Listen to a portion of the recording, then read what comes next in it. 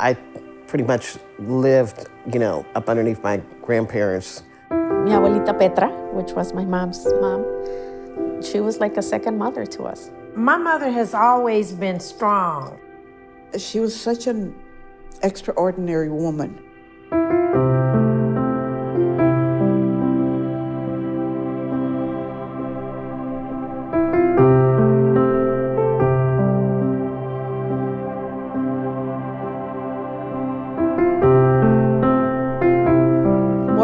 More protective than my mom because my mom had me when she was 18, so she was really a kid. But my mom was very, very stern. I lived with them, you know, while she was going to classes and staying with them. My grandmother's the one that stepped in and helped my mom with everything.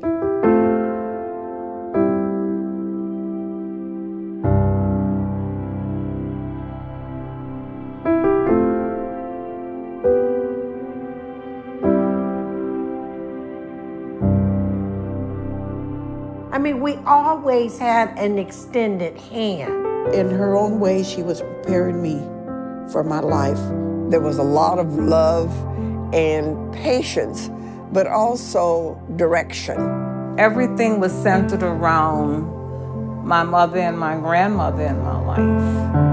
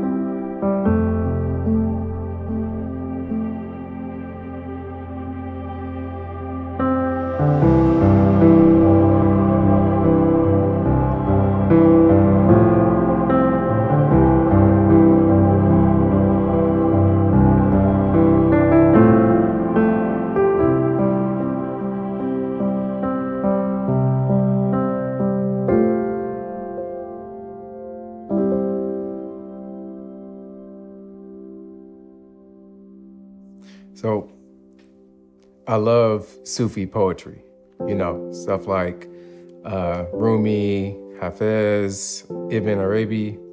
And in Sufi poetry, the rose is often a symbol, a symbol of, of God. And kind of similar to in more mainstream society, you know, the rose is the symbol of love. Different colors mean different types of love. Well, in, in Sufism, it is really the representation of God's love. Um, and who knows love more than grandmas? Um, and so it is that sort of closeness to divine love, the closest thing um, that encompasses all those different types of love that I see as um, grandma love. And I know for myself, whenever I need that kind of love, that kind of acceptance, that kind of embrace, and that kind of energy, you know, I go to see my granny um, up until, you know, she died. I still don't understand it. It's still because um, we don't know exactly what she knew. Still, there's still that unknown, which is mom, you know, from her childhood to the time she passed. She didn't want anybody to worry about her. So that's why she kept, she didn't tell anybody, you know, what was really going on with her. And so when I left there in April, the April before she died, Jordan, I'll never forget. I was getting ready to go out the door to, to catch the plane. And she looked at me, and this was so sincere. And it it just it was it like something went through to my heart. She looked at me and she said, Baby, I sure hate to see you go. When she died, it felt like almost like there was this be- big, beautiful rose garden in the center of my city, that I passed by every day that was just always there, you know, from before I was born. And when she died, it felt like that rose garden had just been scorched to the ground, you know, um, and there's nothing there, nothing left, but just open air, uh, just a void. And after a while, you start to realize, like, all the things that you sort of associated with and, and you look to that to that rose garden for. So I, I really yearned for that that that interaction with with the grandma um, and for that kind of energy, for that kind of love. Um, and so I started interviewing grandmas and asking them about their lives and just sitting with them and talking with them. My name is Louise Wilder. I live in Galesburg, Illinois. She named me Wendell Rogetta. My name is Rosalinda Argueta. I live in Franklin Park. Julie Christine Brown Houston. Uh, my name is Geraldine Watts. My name is Rena Anetta Jordan, formerly Rhymes. I'm from New Orleans, Louisiana. My name is Emma Garcia Ortega. Um, I'm 81 years young. When I interviewed the grandmas, started having those conversations with them, I really just wanted to learn sort of like about their life experience, not just as grandmas, but as as human beings, as women, as women of color, um, because I think we oftentimes only see our grandmas from that experience of a grandchild, which is like, well, this lady is a grandma and she's always been a grandma, you know, and and don't necessarily think about that she had a whole lot of life before she was a grandma. Um, and and so I wanted to sort of have that kind of conversation um, because I think a lot of us don't necessarily, you know, take into consideration or really understand the full scope of of their grandmother experience. Um, and I think for a lot of people, when we think of our grandmas, especially Black grandmas, um, we the image that is conjured up is this caricature of of the mammy, right? The black mammy figure. This is uh, something that was made up. Uh, it's a figment of really white folks' imagination, but um, this is that woman that you see in films like Gone with the Wind or Imitation of Life, uh, who is playing the role of the maid. She is also playing the role of the, you know, caretaker of the children, um, the cook, uh, the therapist, and she's just always there, giving that nurturing love and care for this white family. Oh, that rests me all over. it don't seem right for you to be carrying around them old heavy cans of syrup peddling. Well, I gotta make a living. With your pretty face and them pretty foots, why, you ought to have a man taking care of you, honey. Oh, Delilah. Yes'm. And so these women were desexualized and, and uh, they were um, not portrayed as intellectuals or as someone that be resistant and take actions of resistance against their own oppression. A lot of that imagery, I think, still exists today in the, in the portrayal of Black women, but also I think in sort of our own minds and our own culture in terms of how we look at the role of the grandma. And so that's that was the focus of the conversation, um, the conversations that I had when I started interviewing these grandmas. In, the black community, the grandmother is always there. And whether you call her Nana, whether you call her Mima, you know, grandma, grand, whatever you want to call it, she's always one of the forces. It seems like grandmas can cook better than anybody else, okay? They can give the best hugs. And whether you're a girl or a boy, you know, if you if you were blessed enough to have a grandmother alive, you were you probably thought you were the apple of her eye. The grandbabies, those precious little faces, they come to me and talk, and I can listen to them. We can talk about what's really going on, and I don't, oh, do tell. And we have a trust and we have a bond. That's something I didn't have with my kids. So, your grandchildren for me is your redemption to correct what you didn't do with their parents. and you can spoil them till times get better, but you can send them back to your their parents. So you, you kind of develop that sense of I'm the grandmother, I'm gonna spoil, like, and I do. I, I spoil. When they're here, they can do whatever they want. I, they can eat what, even though the parents, you know, they can. I don't care. They're in my house. They can do whatever they want, and they do, and they have fun. And I want them to say, you know, I want to go to grandma's because it's so much fun. The grandmother's there. The grandmother's always there. It's, someone that that if you teach them when, when they're little until I'll always be here. You'll never do anything wrong. Come and talk to me about it. We'll discuss it. I would tell everyone that a grandmother, she's so special with love. You get so much love from that lady in your life, your grandmother. She's precious. She's always with you. She always understands things and she'll explain things to you and she'll tell you when you're right or wrong. Wisdom. Wisdom. Uh, the grandmother has been there, the mother has not.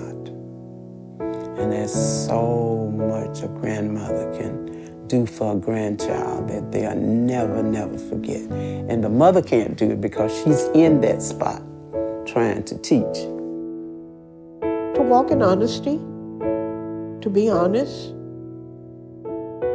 to be grateful, to be compassionate. You know, as, as women, you know, teach them to respect themselves and, um, you know, just have fun with them, you know, when, when we're around and listen to them. I want to be the best that I could possibly be for them at all times. They heard, when they heard, I heard more for them than I did with my own kids. Can you believe that? And the grandma's always there with hugs. Grandma's always that security blanket, or she should be. Unfortunately, right now, there's so many children being raised by grandparents. More and more you know, and, and it's good for a grandmother to play a part in grandchildren's lives because it's things that they'll never forget. You know, I, I, I don't want to take care of any grandchildren, but I want to be there father. My responsibility is to love my grandchildren with all my heart. They are an extension of me. Uh, the only thing that I regret is that I'm not able to spend the time with them that I would like to spend with them. That's it. Sierra's an exception. She's here with me. So the only thing I can do is give phone calls, um, have them come out here. You know, uh, I try to go home as much as I can. But with my job, it's it's kind of hard, and money wise, it's kind of hard. But I do keep in contact with them. And I just think that they just need to know that even though I'm all these miles away from them, I'm their grandmother and I do love them and I adore them, all of them. You know, I talk to my little grandson who's just turned 15 and I tell him, don't be out stealing. Don't go here, there. If you need anything, get on the phone, call me. Call Marlon he'll call me on the phone. And I think I'm getting through because he'll call and say, Grandma, I'm at Wendy's. Can I, uh, can you bring me some money uh, to get me some food? I'll be, I jump in my car and I run right out there. and, and that's just not rare. It's all the time. He calls, Grandma, I need a ride. I take him up to Rock Island to a ball game because I want him to realize there are good things out there. One morning, it was a Friday morning, we were going out uh, when he was getting ready to go to school, we were going getting in, into the car, and the trash men came by, and he picked up the the trash can and emptied it that. And I'm like, "Did you see that happen?" He said, "Yeah, I want to do that when I grow up."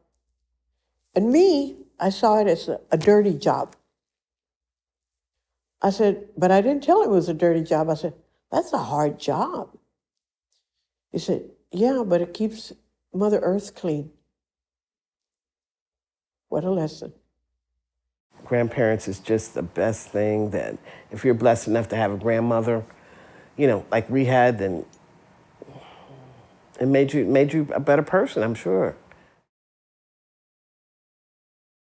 My granny was a force, man. She was powerful.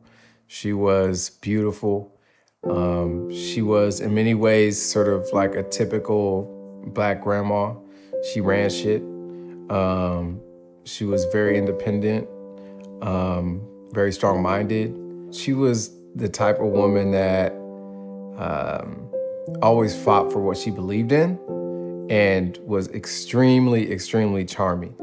Uh, she, you know, convinced um, a white banker to, you know, give his first home loan to a black family um, after, you know, they had been denied uh, by other all the banks in town. They had to go out of town uh, to be able to get the home loan to build their home because nobody would give a home loan to a black family. Um, and so it was through her wit and charm that she convinced that banker to give his first home loan to, to a black family.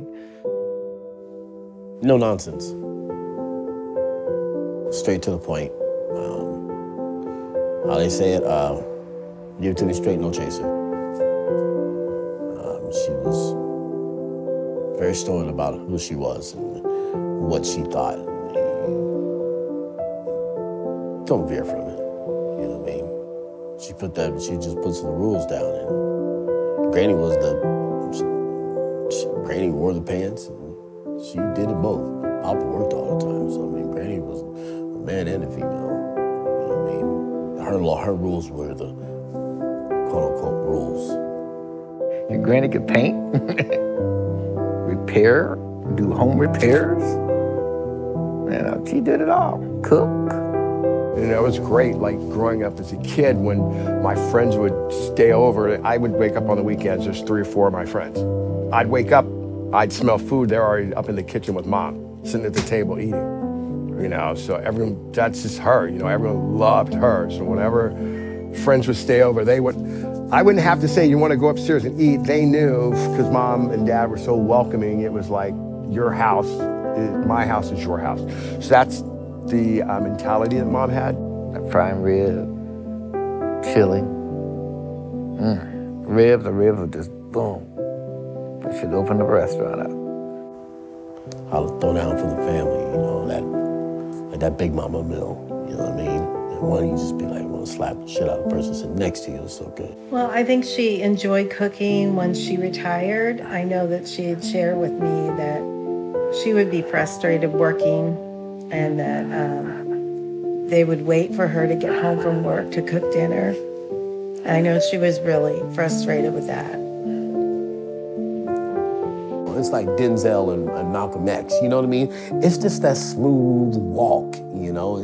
Granny had that. She had that it. She had that that stuff that you can't you can't teach. It's just in you. She's beautiful. She had really warm brown eyes, uh, beautiful smile. Um, yeah, she was she was lovely. She's very. Um, she had a very. Um, this is a difficult thing to have. Is the a gentle strength. And so she was gentle and very strong as well. And so she had a lot of pride. She really didn't ask for help. She always wanted to help. She got along with everybody. You know, I have friends. All my friends loved her. You know, there's just a lot of people around. You know, our family is, uh, especially our house household, 461 was always a safe haven for everyone not just family, but friends always knew that they could come to mom and dad. She could have been the mayor of Galesburg. For a while there, she could have been. She was, Granny was powerful. She wasn't just a mom, she wasn't just our grandmother. She was a powerful woman. Oh yeah, she was very active in the, in the, in the civil rights movement. You know, back in the 60s, we, marched. You know, had marches in Galesburg. She marched in Galesburg. She, uh, she was part. Of, She was on the EEOC board, which was the Equal uh, Opportunity and whatever else it was. And uh, she, she was. She did that for I don't know five, six, maybe 10 years. So that was that was a big part. Because that, that organization, she was appointed by the governor, like I said before. And so, you know, that was dealt with the whole state. So when there was a there was an issue with unfair un, uh, employment practices, they would step in, you know, they would file lawsuits and, you know, so that was pretty big, that was pretty important job for her. And at the same time, she was running the director of Carver Center. Carver Center was a community center for, it's like an outreach, for like outreach programs, so, you know, for kids that have it tough, you know what I mean? Somewhere for the kids to go, you know, where they ain't out in the streets selling dope and fighting all the time, getting involved with the police, you know what I mean? And you had activities, Saturdays, you know, and then during through the week, you know, you can come in there and get your homework done and so on and so forth. You know, you had tutors that come in from Knox College and all that. Granny set that up. Oh, well, mom was very involved in, in the community, especially with the Carver Center and United Way. That was big to her. You know, really getting the center, uh, sort of uh, when the times were changing in the 80s, uh, uh, she made it more progressive. You know, she was able to raise funds and really do more outreach with the Carver community because it was a local community. And then once United Way got involved and mom became the chairman, I think she was like the regional director of United Way through the Carver Center, like she was really able to raise money and really, really get some more social programs through the center, like child care, um, after school was really big in those days. I mean, she was really out there getting money for those programs, the social programs at the Carver Center. Um, you know that that was a person that could take care of whatever needed to be taken care of, take care of you, right? Um, and she would advocate for people um, when she felt like there was an injustice. Um, but she also was just friendly and just very loving and caring. So there's nothing I don't remember about mom. She was always there. So um, she always had a smile on her face and you know she was there for everyone she worried about more people than her people more than herself you know she loved life she loved people well she probably did too much of that you know but that was just her you know you know taking care of you know the people in the family she probably didn't want to do it all the time but she did it anyway you know she just did it that's what that was Granny. You know, she brought a lot to the table. She expected a lot.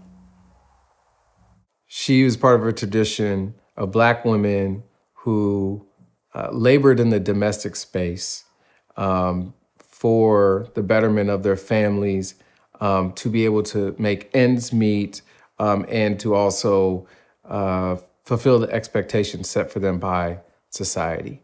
I saw a lot when my grandmother did the domestic work. She would work five days a week. She made four dollars a day and 14 cents car fare because the car fare was seven cents at that time. And she would get to work around nine o'clock and leave at three and four o'clock.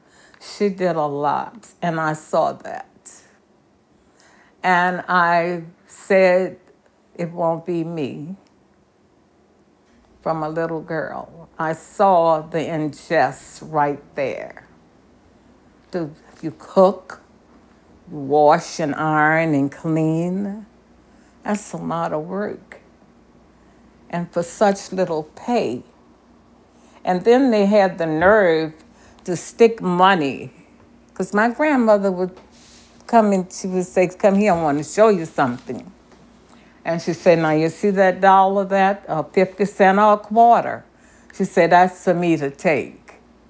She says, But why would I take 25 cents, 50 cents, or a dollar and go to jail for the rest of my life? And she taught me about being honest. After I got out of school, I went to um, um, worked several small jobs. I worked at the Kroger Company. I worked at a company called Dell Farm here, both grocery stores. And um, probably one of the best things that happened to me was at uh, uh, Del Farm, um, the guy there wanted me to be head cashier, and the company said, no, we can't have her head cashier. And it was because I was black. And the, the manager there quit as a result of it, because if I can't have the best person in my store as a head cashier uh, of my choice, then I'm not going to work this job. He quit and left, went to Arizona. After that, I quit and went to Kroger's. I worked with Jackson Public Schools for over 20 some years.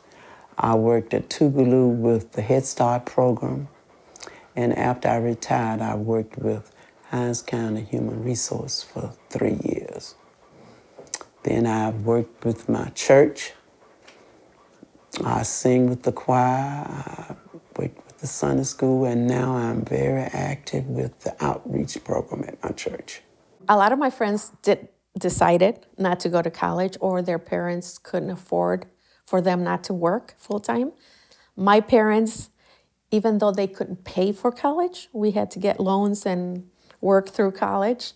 Uh, they told me, you have a house and you have food and you have clothes.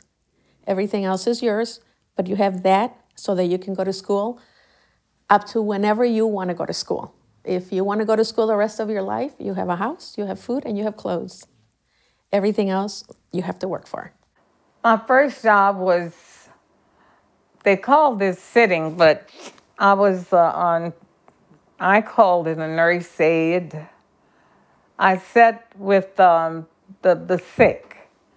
I had, yeah, I experienced racism there, thinking about it, yes. I had one sitting case where this lady actually she said, she called me a nigger. So I told her, I says, I'm not a nigger and don't you ever call me that again. And I called her daughter and I told her her mother had called me and I told her, I says, I'm leaving. I says, I'll stay until you get here, but when you get here, I'm off the case. I don't want it. So that was one ex- bad experience. I was a kitchen beautician. And I just, you know, I just didn't think that that job would allow me to support my family because people they'll come to you one week and then maybe next month they'll find somebody else that'll do it cheaper and I couldn't do that. So I kept my kitchen beautician. Of course, I had all the, you know, barbers and everything mad at me because I was taking their business, but hey, I had to survive. I had kids to take care of. And while I did that, I was waitressing. So I had many, many jobs. And they interviewed me for a position with the city of Galesburg in um, human relations. And at that time, um, she said, You're so articulate. We'd really like to, to interview you. I interviewed and got the job. And after that, I um, went to Knox for a couple years and took some courses there. I had taken uh, courses at Brown's Business College prior to that. And so I ended up being a Human Relations Director for the City of Galesburg.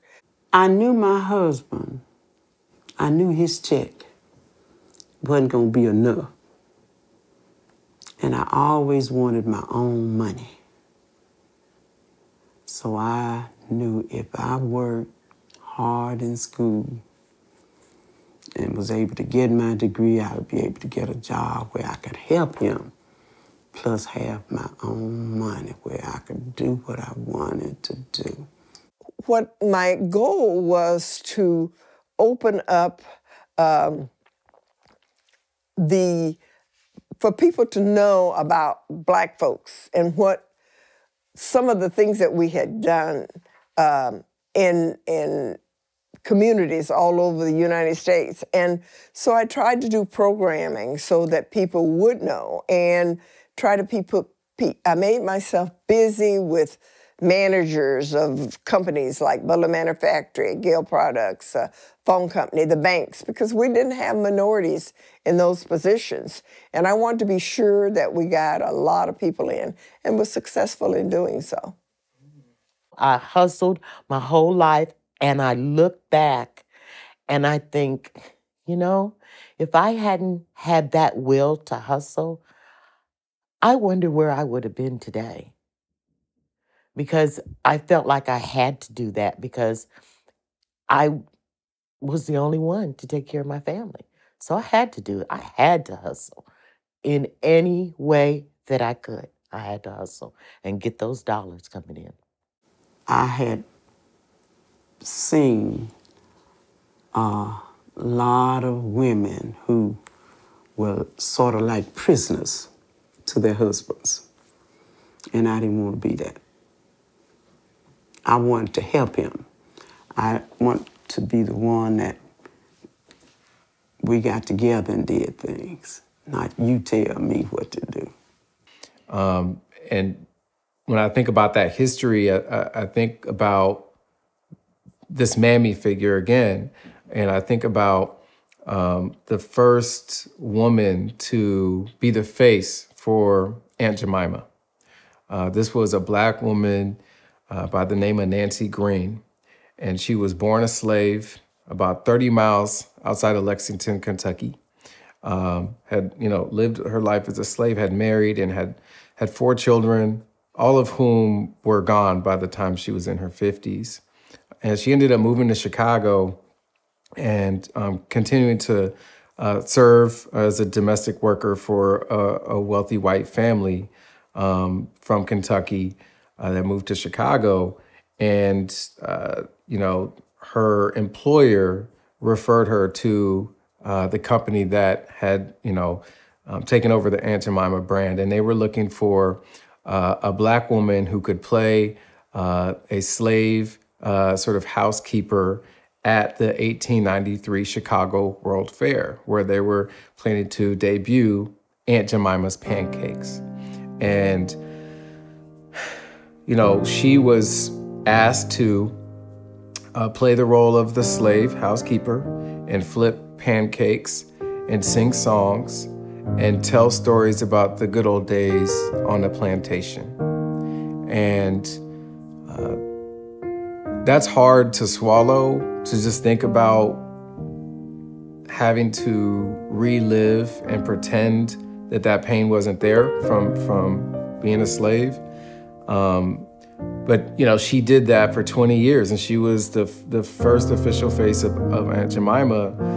Um, and you know, they paid her, but it couldn't have been much because she still worked as a domestic servant for that white family the, the entire time. Um, and this woman, Nancy Green, feels close to me because my grandmother's mother was also born 30 miles outside of Lexington, Kentucky. And she also migrated to Chicago. Um, and they had lived maybe miles apart from each other, maybe five, ten miles apart from each other. You know, one was in Englewood, uh, the other was in the West Loop area. Um, and they were there at the same time. And while Nancy Green was probably ending her her career as a domestic worker, um, you know, my great grandmother was probably just starting hers. And so to think about that and the fact that maybe maybe they knew each other. I don't know if they did, but you know, two generations apart, continuing to do that domestic labor, um, it just it makes it all feel so much more real to me because I, I have a through line, you know.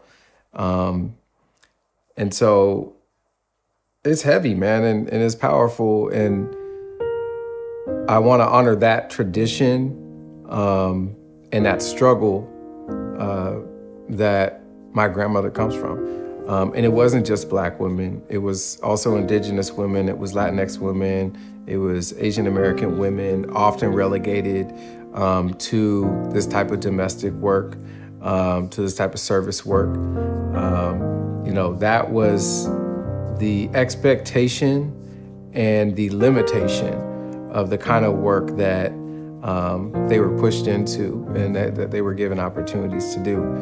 But at the same time, there's always been women who've, you know, broken those those glass ceilings, if you will, um, who've been able to do other types of work. Some of it, you know, known as men's work, some of it um, not ever dreamed of. We have so much symbolic weight, right? That that sort of shrouds us and, and kind of covers us in our experiences.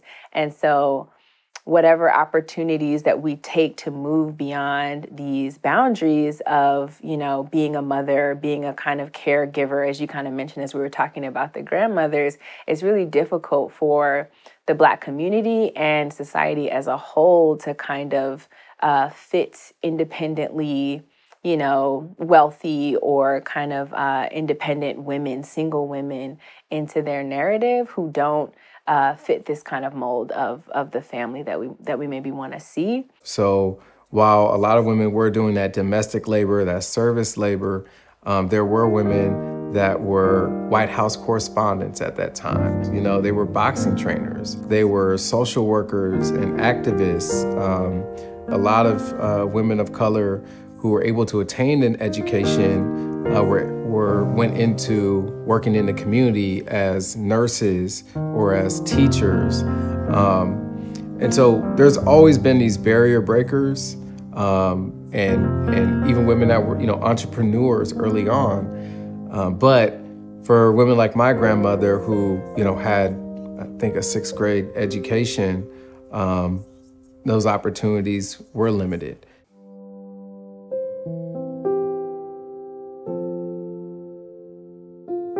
When I came across that thing, when she came to pick me up at the airport, Jordan, it was all I could do to keep a shocked look off of my face when I looked at my mom because she had lost so much weight. Her clothes were just hanging, her face looked drawn. And I, oh my God, I got in my room and I just cried. I, I can't leave here just yet. Someone found x rays in October around the house somewhere that shows something on her lung. Every time we would ask her about it, she would deny, it, I'm fine, I'm fine. Granny would always downplay anything in regards to her health. Even when she had the stints put in, um, she would deny it. I didn't have it. I didn't have a heart attack. She would deny it and downplay everything. You know, she didn't make herself too vulnerable, which, you know, maybe was not always a good thing, but I think she tried to just be strong just from how she grew up. So again, we didn't know what was going on. I mean, all of a sudden it's just like she just had been losing all this weight, which we thought was just stress from taking care of her older sister and and worrying about my dad um, and his illness. And I was barely making it. And then I think that affected her when I got sick. You know, I didn't tell her everything that was going on with me because I didn't want her to.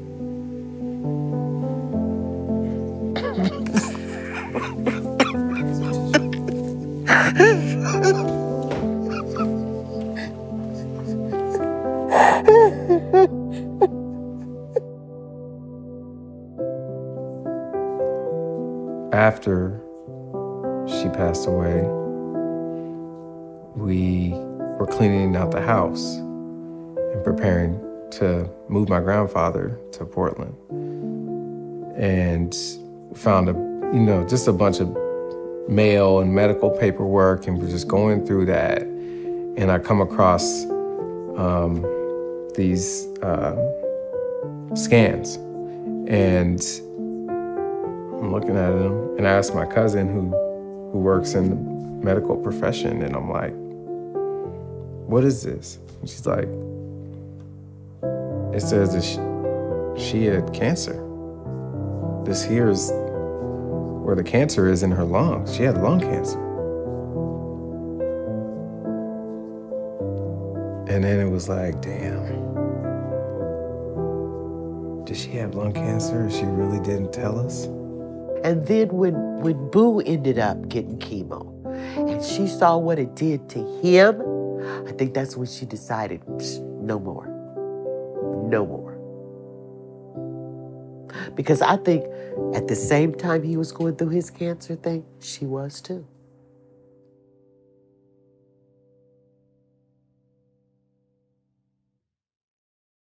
So I also asked the grandmas about racism and sexism. And it was very interesting um, because when I first asked them that question, a lot of them didn't have a lot to say in terms of, you know, experiencing direct racism or sexism. Um, and I'm sort of like, what do you mean? You know, you you were born and you grew up, you know, early on in the era of Jim Crow. So, um, what do what do you? There has to be something, right? Um, and so, you know, some of them did share some some incidents, but a lot of them kind of minimized the impact that it had on on them um, in their lives, and I I thought that was really interesting because it's so different from, say, you know, my generation or generations ahead of me, um, in terms of how we look at, you know, racism and sexism and, and other systems of oppression. But I think, and I think this is true for my grandmother too, they refuse to see themselves as as victims of those systems. And I think because of the um, the reality of those times, you know, you had to sort of not be ignorant of it, but not let it discourage you. Um, you had to sort of feel above those systems to be able to just continue to achieve what you wanted to achieve. The, the only times I've faced racism was I told you that time they put that burning cross on my aunt's yard. That was scary. Um, and another time was, uh, I remember going someplace and one man said to me, "Oh, they're having catfish. That ought to be just along your alley," and they called me a name. And I just, I mean, you, of course, being black, you always run into racism. But my whole thing is just, I don't give people that power to have over me. You know, I, I, I don't get, just ignore them. And that's just, you know, you're not gonna have that power after me. I look at you, give you a side eye, and then, you know, keep on stepping. At the time, discrimination was very, very obvious. Uh, they would put us in a room and forget about us. I mean, they would just put us in a corner because we didn't speak English. The teachers didn't pay any attention to us. They would just talk amongst yourselves. Again, we had friends. So talk amongst yourselves, help yourselves out, we don't care. So my parents, the second year we were here, um, they saw that. So they took us out of the public school system and they put us into a Catholic school. I would speak Spanish, and so would the other kids in the area, because that's the only language we knew. We didn't know any English. And so the, the teachers would get real upset with us and tell us not to speak. But we didn't know what they were saying because we didn't know English. They didn't know Spanish. So we got spanked constantly until we finally understood not to talk in Spanish. I didn't have a problem. I really didn't. And I don't know if it was because of the way maybe there was a problem and I just didn't see it. It could have been that. But my mind was on working. And whatever I had to do, I did. You know, so as far as the discrimination and all that, I knew it was there, but I think I just put it in the back of my mind. So we worked at the County Line Bank building. And I remember one of the VPs, I'm not gonna say the name, he would always, I'd be at the copy machine making copies, and he'd always come behind me and just rub against me. Um, and just, or call me in his office and say, look at that lady over there. She's new, but you know, he'd have those, you know, those, uh, what are those called? Those binoculars, yeah. Look over, and then he'd get back, it just, he just made me super, super uncomfortable. Did it to me all the time. And I go, oh, I'm the only black person here. They're not gonna, who are they gonna believe? Me, black girl, or, and he's vice president. I usually refer, I am a part of, of, of segregation. I, I know it from childhood up. Uh, and one thing that's so vivid in my mind now, as a little girl, my mother would go to town and uh, we would go in Woolworths. and I love cake. And we would pass the counters where the people would be sitting, and I saw the dome cakes there in the in the dome, and I would always holler for a piece of cake. I remember that. I would want my mama to stop. Let's buy some cake. Let's get some cake. She said, "No, come on, come on. We can't get into that." And when I got a little older, like, oh, maybe 10 or 15, I said, when I get grown, I'm going to buy me a dome cake plate and keep me a cake on my counter. I assimilated. I, I think uh, um, my character, I, I assimilate easy. I very easy for me to change. I, I don't have a hard time with change or anything. You could see the people, you know, they, not everybody liked that we were Mexican. You could see the com, you could hear the comments. Uh, some people just wouldn't even talk to you. But I didn't care. I was there to work. I was there to do a job, and as long as I did it well, and I was proud of it, I got my check, and that's all I needed. When I was growing up, it was like the male was dominant, and that the woman didn't walk beside the, the male, she walked behind him. And, and whatever he said was law. Um, but it's not like that. It's not like that. But that's that's how that's the society I grew up in.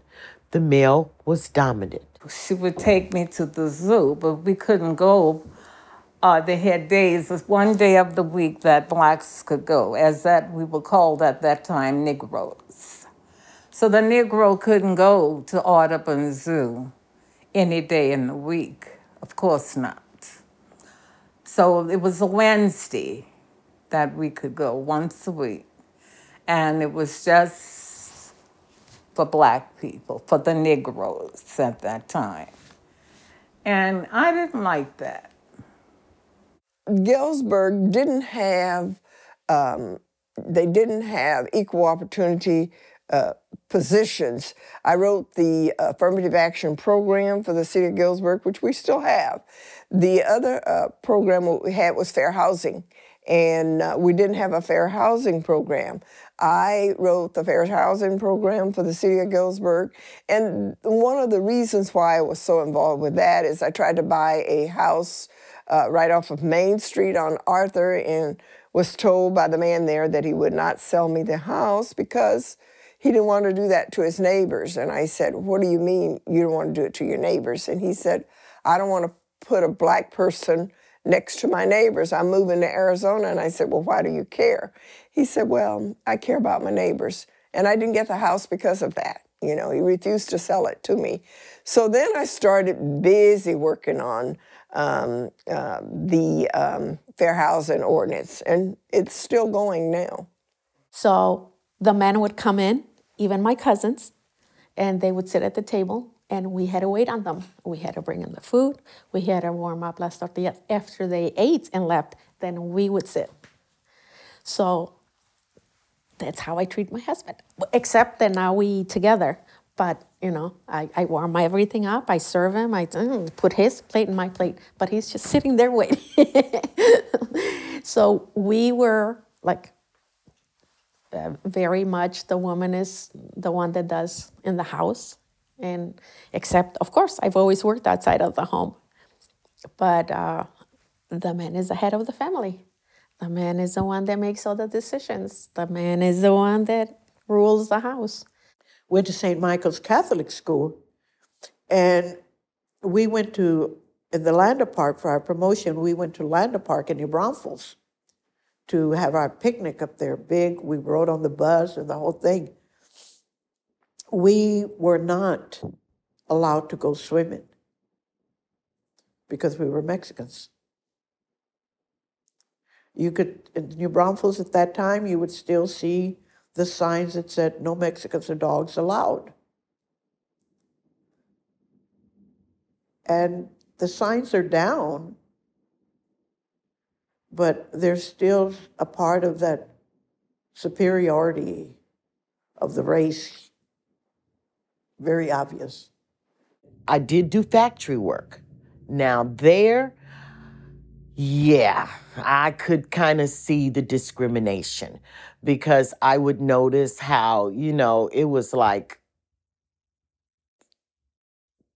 the white girls would get a pass on if they made a mistake or something, but it was like the blacks would not get a pass, you know, and they would kind of talk down to you. So, yeah, in the factory, I did see that. So many things I couldn't do, like we had to ride the bus. And uh, if you sat on the bus and it wasn't full, you could sit in the back on the two back seats. But if it was full, he would move the, the, the sign that says colored and white.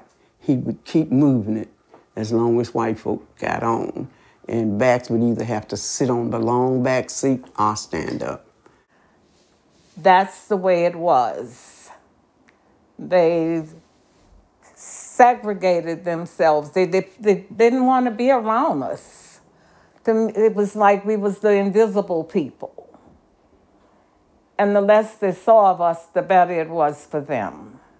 When I worked for the city's human relations director, I was convinced that the testing for firefighter and policemen were was was um, not a good one. It was not good for minorities, and I was determined to uh, be able to um, get a hold of that test. And the only way I could get a hold of the test was to apply for the position there, and I did.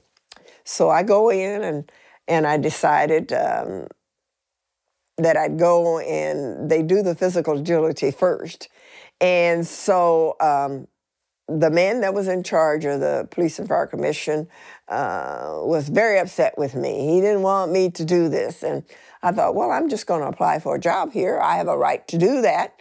Now, my goal was to get the test, and um, so when they had the physical agility test, I went down and I got myself together, and they said, "You can't go in there. Those men aren't. Those men aren't dressed." And I said, "Oh, really?" That's not my problem. That's theirs. I'm going in here to take the physical agility. And they were getting dressed. See, part of that was his mind being mindset. You know, you women aren't going to be uh, firefighters, and we don't have a fireman now. You know, a, a woman firefighter now. If I could get out there and do the same job that a man can do, then I'm my own woman. How are you going to tell me what I can and cannot do? And I'm doing a job just like you're doing. I may not get paid what you get paid, but I'm still doing it. And sometimes I'm doing it better than you are. So who are you to tell me what I can and cannot do? Yeah, I bucked it. I bucked it. I paid for it sometime for bucking it, but I didn't care. It was worth it because I'm going to be me. And at the end of the day, nobody's going to take care of me but me.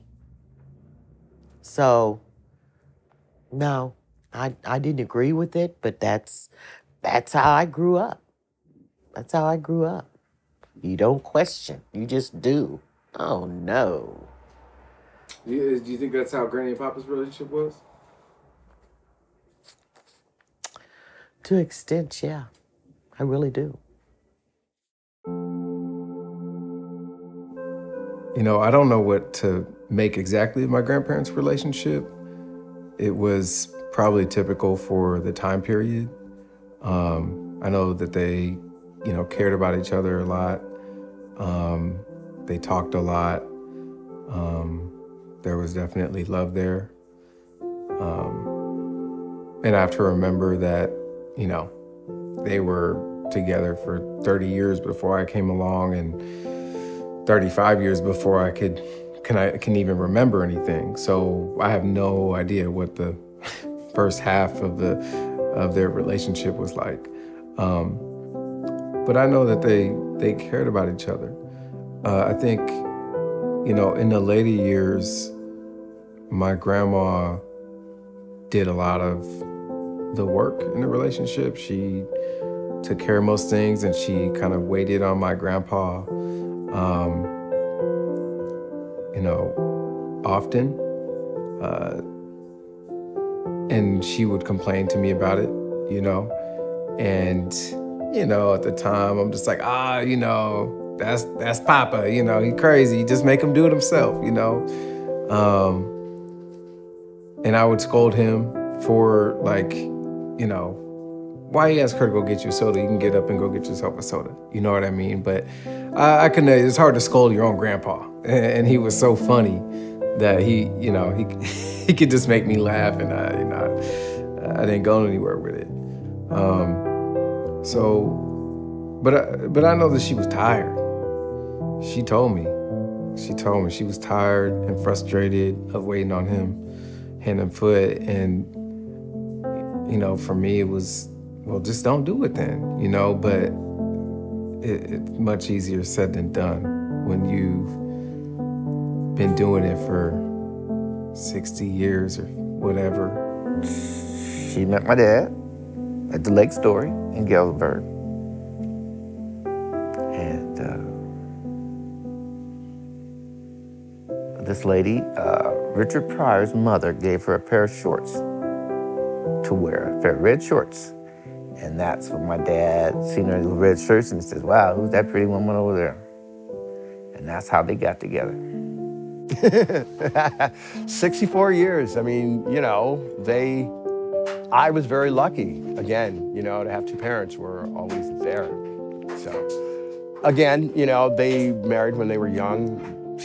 64 years, every relationship's gonna go through their trials and tribulations, but they, I, you know, they loved each other. They played cards and listened to jazz to two or three o'clock in the morning.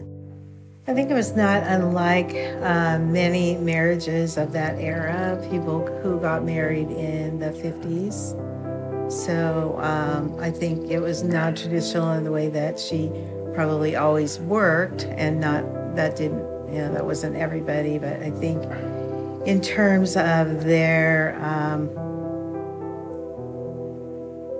their communication, I think it was not unlike, it was very much like um, other marriages. And Dad loved her, you know. He was a theory, he was a man in the 70s, you know, in the 60s, 50s, 60s, and 70s, you know. Very chauvinistic, you know, all men were back in those days, you know. And so um, I'm sure he has regrets in life, you know, throughout their marriage, but they stayed strong throughout, you know, and she stood by him, you know, so that's true love. And I think Dad knew that, you know, at the end. I've been thinking a lot about the term, the idea about resilience, and I think of it as coerced tenacity, right? Like, I feel like white people don't have to triumph as much as we do. They don't have to, like, be superheroes in the same way that I think black women in particular are forced to do. I think trans folks are forced to do um, immigrant women in, in, in our different ways, we're forced to have to like be so strong because this place is so oppressive. And at the same time, what isn't seen as strength is wanting to take a break, knowing myself enough to say, I need this place to stop as a strength. Right? Like, I need you to not be oppressive that is a strength, not me overcoming your oppression as a strength. One of the things that wasn't on my radar uh, to ask the grandmas about was surviving violence. And it just wasn't something I didn't see it as like a focus of this film, and it just wasn't on my radar to specifically ask that kind of question. But it came up anyway in almost all the interviews, um, unprompted uh, this issue of violence that they've that they've survived. Um, you know, gender-based violence is real. It is a um, you know severe source of trauma uh, for a lot of uh, women that have survived it. Um, but I was I was really I was really shocked that the vast majority of them willingly shared that information. And and and so I can only imagine that the ones that didn't, you know, share unprompted, uh, likely also had survived violence at one point in their life at, at the hands of men. Um, you know, gender based violence is a very serious issue and it is still very prevalent. Um, but I think even more so in, in the past uh, when it was, you know, very much seen as a private family matter. Um, it was not uh, something that was, um, you know, supported. Interventions and help weren't necessarily supported uh, by any social service agencies or anything to that effect. Um, and this is, you know, just part of American history. I mean, when Europeans came over here and, and settled and um, started to create a, a, form of government, they based that government off of British common law. And British common law permitted uh, husbands to, you know, beat their wives.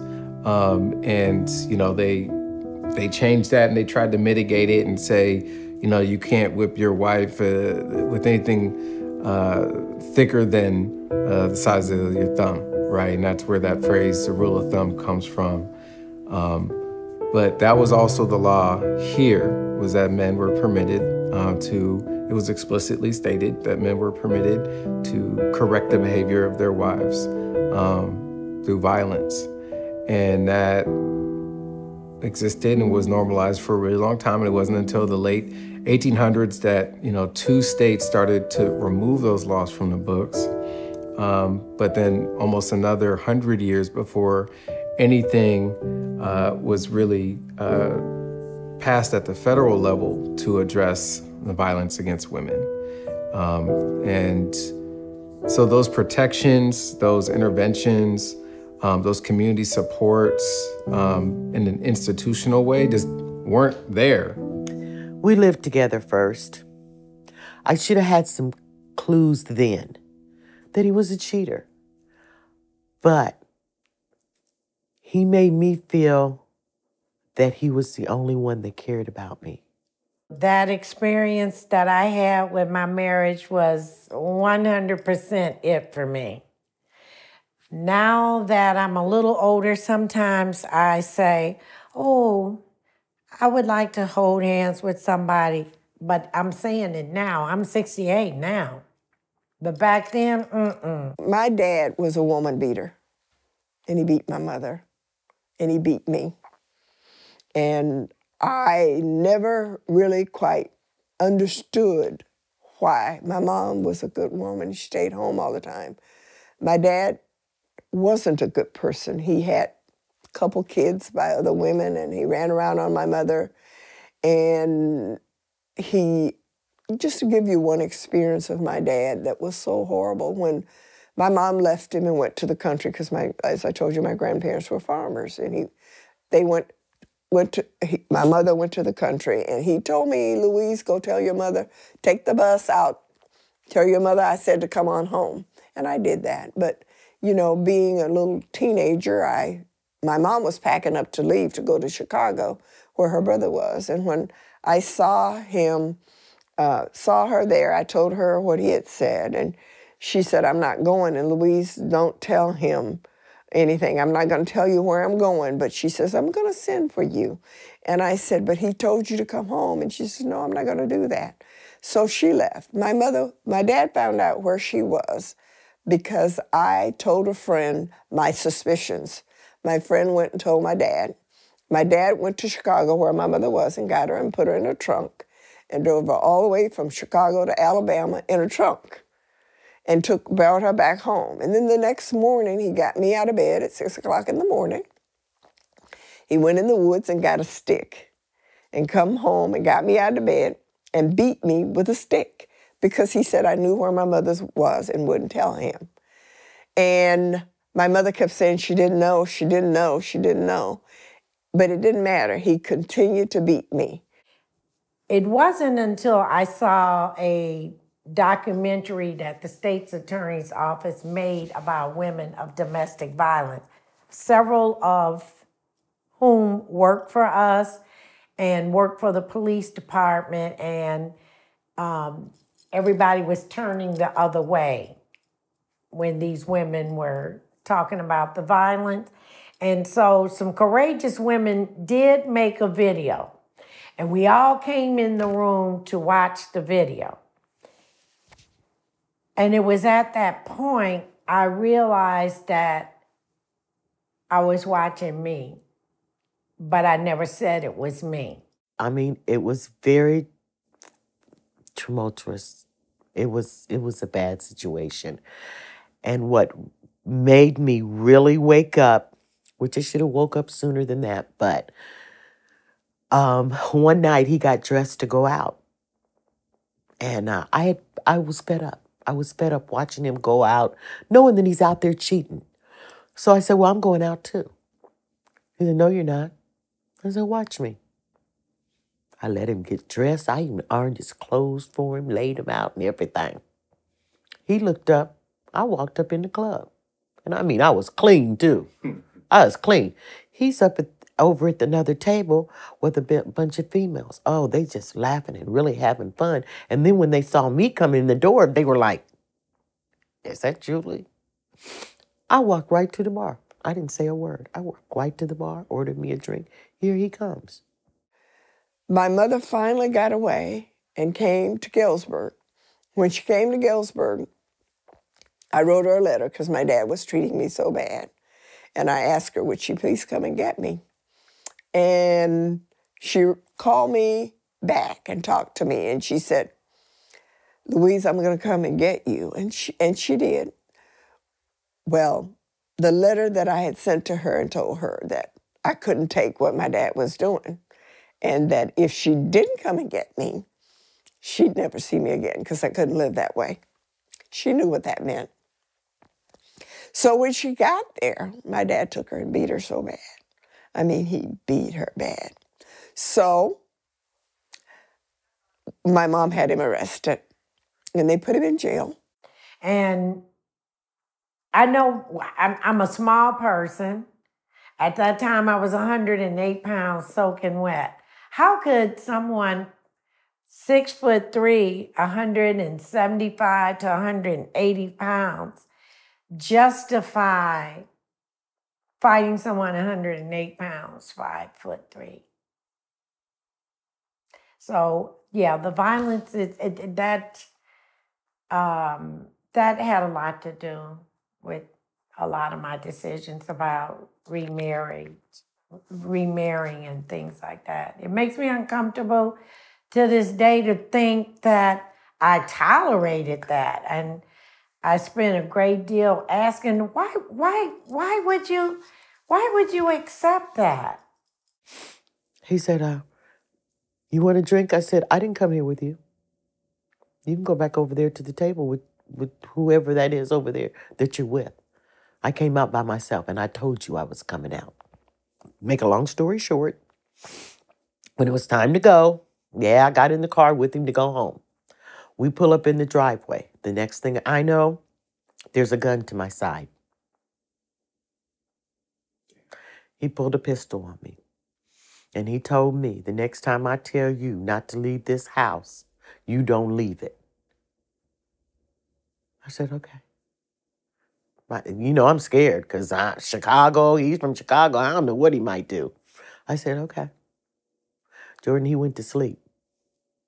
When he woke up, I had the pistol pointed right at his head.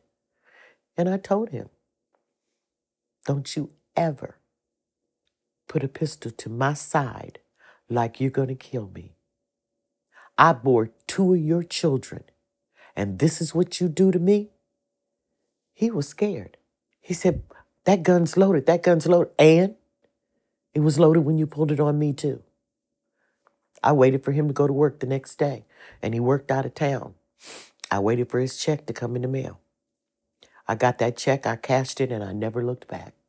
I already had me apartment set up and everything. I never looked back. Violence is real. We have a tendency to dismiss it. We say, oh, yeah, girl, I, I knew I was going to get my butt beat. You know, as women, we used to all sit up and laugh about it. But when I saw that video and I said, hey, wait a minute. Oh, no, uh uh No one deserves that. No one. So I grew up remembering what I had lived as a child and mm-hmm. knew that I could never see my kids go through anything like that. So I think I was a good mother. I tried to be a good mother. My, my daughter calls me sometimes now, and the last thing she said to me a few months ago, Mom, I don't know where I'd be if it hadn't been for you. You stuck with me no matter what kind of problems I went through. You were there for me. You know what, though, Jordan? All of this that I have been through has made me such a better woman. It, it really, really has. I feel like I am. I don't take nothing from nobody.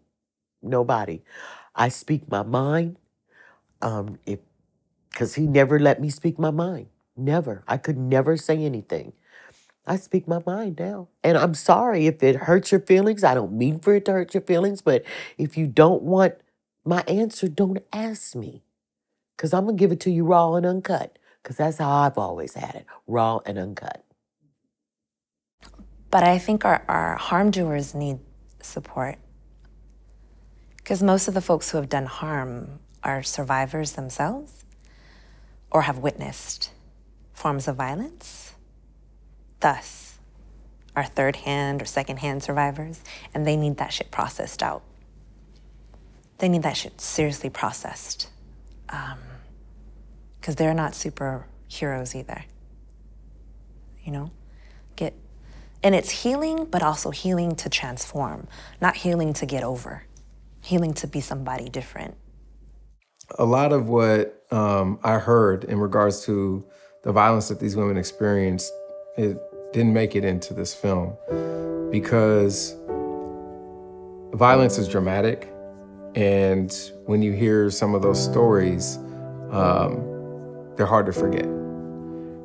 I didn't want that to be the thing that you remember most about these women. Um, I didn't want that to be, you know, sort of the legacy that this film uh, leaves for them because they don't see themselves as victims. Um, and I don't want them to be perceived as victims. Um, but I did think it was important to touch on it and hear a little bit because it is so prevalent and not talked about enough in terms of what we can do as men, um, what we can do uh, to create, you know, environmental factors uh, that, you know, reduce the likelihood of violence against women. So I think cisgendered men can support the liberation of cis, trans, women and girls of color, gender nonconforming communities. And I think there are so many ways. I think, in an immediate sense, immediately, I think it would be to learn from these communities. So be humble enough to learn from them and to be challenged by what it is that we will be saying. And not just as like a, an intellectual and a disconnected political way, but at a deep, profound, like sit with that shit and let it impact you.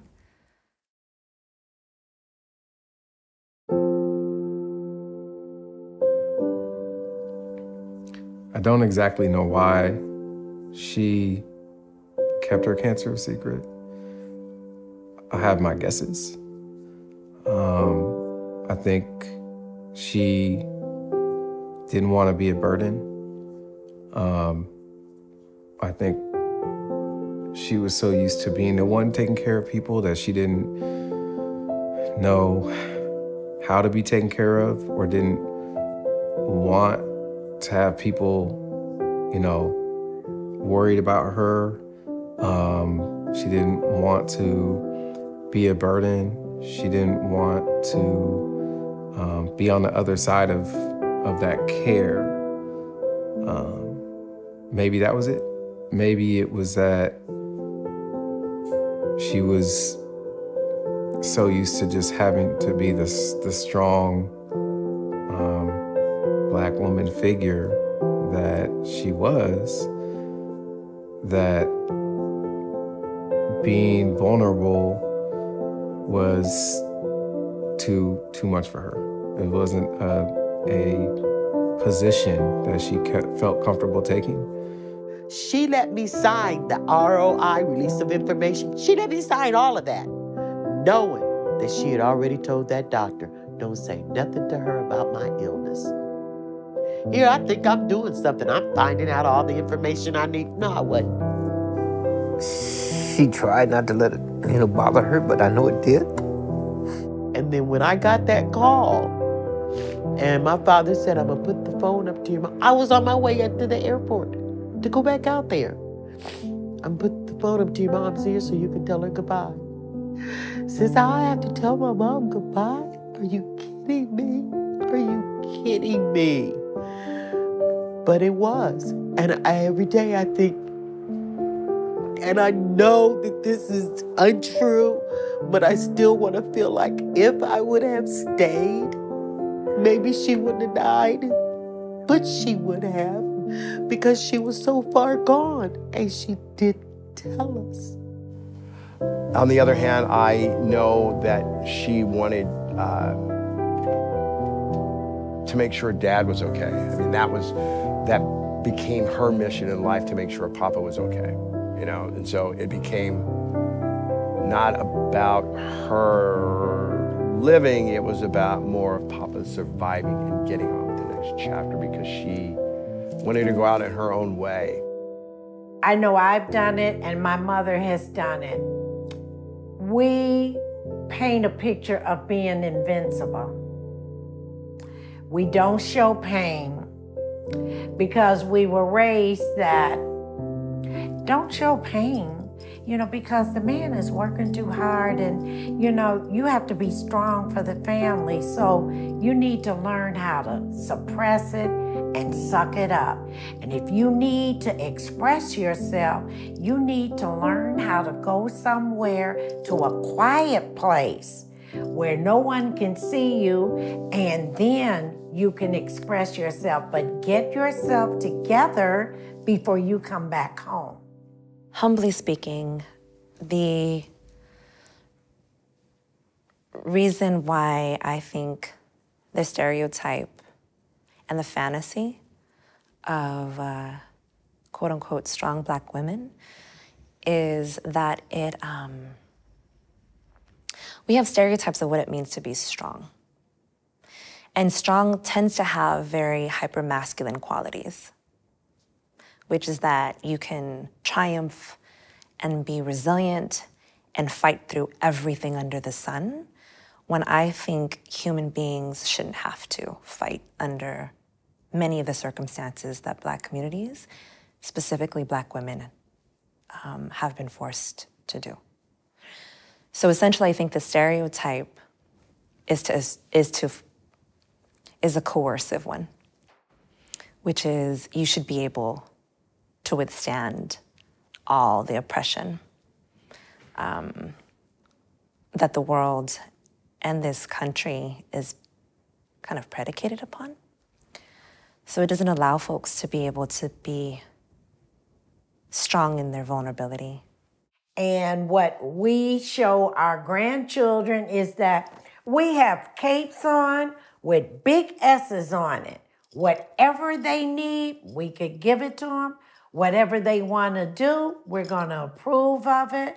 Whatever they want, we're going to make sure they get it. That's what we did. That's what we do. And then when we start breaking down, the first thing that our families do is, what is wrong with Granny? Now, having spoken to so many more grandmothers and having done um, so much self-education on, on this history, uh, you know, I can do my part to help disrupt um, the perpetuation of these of these of this exploitation of women's love and labor. Um, and as a male, as a cisgendered hetero male, having that power and privilege um, to be able to do so and to call out, you know, my peers um, and do what we can in the with the kind of love that our grandmothers have given us that radical love that um, unconditional no it doesn't matter who you are where you've been what you've done you know you belong here kind of love and we love you kind of love. If we reciprocated that then i think we could um, you know relieve some of these struggles and create uh, better environments and more equity and more justice for women